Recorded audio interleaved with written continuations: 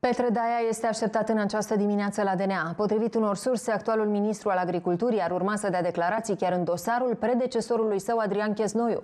Fostul ministru este cercetat de procuror pentru trucarea unor concursuri de angajare. Unul dintre beneficiari ar fi fost chiar un apropiat al lui Daia.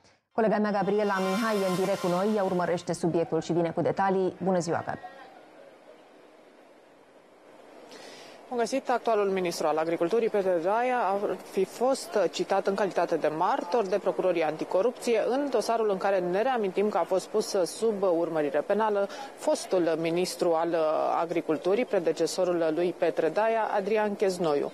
Ei bine, în documentele făcute de procurori se arată că Adrian Cheznoiu ar fi intervenit la un subaltern de al său pentru um, a uh, angaja patru persoane fără a da acel concurs de angajare uh, așa cum uh, ar fi trebuit conform legii, ci printr-un uh, trucaj. Ar fi trebuit să primească cei patru acele uh, răspunsuri la subiecte. Pe de altă parte, uh, tot în referatul procurorilor anticorupție se arată că ministrul Adrian Cheznoiu, fostul ministru, ar um, fi uh, vorbit cu subalternul său și i-ar fi transmis că trebuie să intervină pentru uh, unul dintre candidați în contextul în care acesta era un apropiat de-al lui Petre Daia.